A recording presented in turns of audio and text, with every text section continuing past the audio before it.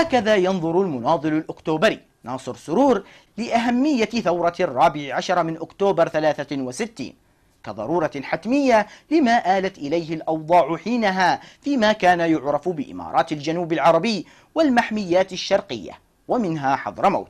في ظل متغيرات داخلية أفرزتها الحركة النقابية والطلابية المتأثرة بحركات التحرر في المنطقة العربية ضد قوى الاستعمار. ثورة يرى أنها وبعد مرور 53 عاما قد نجحت في تحقيق بعض أهدافها التي خرج من أجلها رغم الانتكاسات والأحداث التي شهدتها البلاد.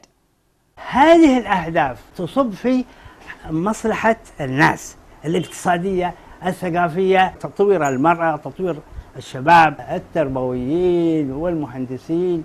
أنا أرى أن الأهداف الموضوعية هذه هي فعلا تتحقق. بصرف النظر عن الهنات السياسية التي تحصل. الرجل الذي عشق النضال وانخرط في مسيرة الكفاح لأجل الحرية والعدالة والتقدم منذ نعومة أظافره وحمل لقب البازوكا كهوية مستعارة تطلبتها مرحلة النضال الثوري السري ضد المستعمر.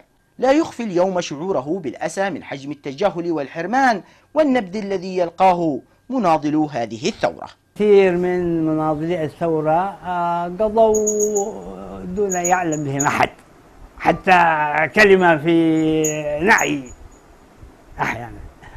وفي مرضى ولم يداويهم أحد.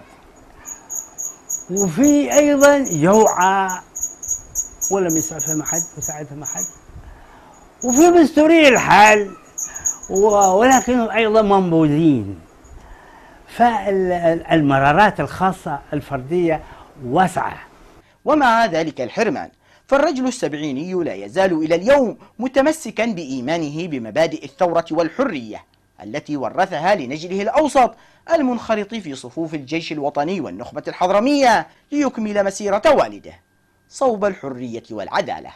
رغم الغصة التي يشعر بها مناضلو ثورة أكتوبر جراء تهميشهم وحرمانهم من حقوقهم والتكريم الذي يستحقونه إلا أنهم يؤكدون دائما على أن فكرة الثورة ذاتها أكبر بكثير من الذات الشخصي.